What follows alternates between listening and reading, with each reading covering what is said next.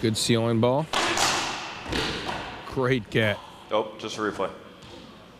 I think that's a good call. Jason's reaching for an avoidable, if you ask me. I don't think that's an avoidable hinder. Well, it could have been, but I thought Jack cleared. Now, conversely, I thought Jason gave.